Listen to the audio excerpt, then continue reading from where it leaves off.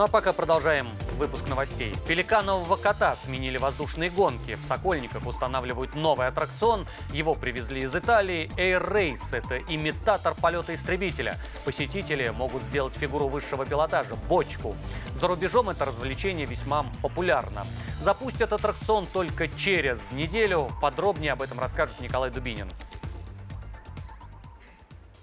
Вот она, будущая главная гордость развлекательного парка «Сокольники» – аттракцион Air Race. В настоящий момент он находится в стадии монтажа, которым занимаются вот эти серьезного вида ребята из Италии. Но у нас есть возможность проверить на прочность вот эти конструкции. Ну, не, не оторвешь.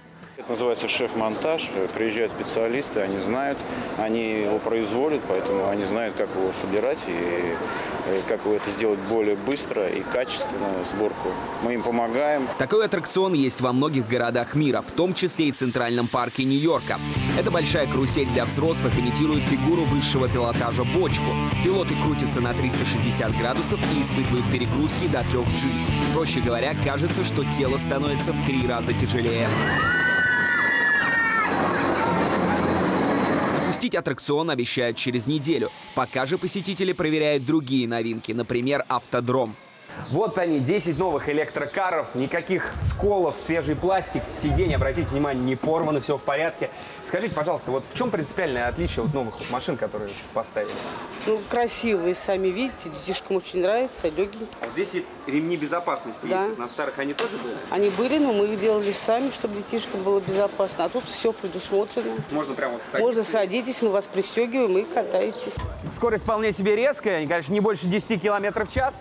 Из-за техники безопасности все-таки здесь будут ездить дети. Но а, резкость совершенно не страдает, а то на старых аттракционах обычно, ну, прям медленно-медленно. А тут все в порядке. Опа!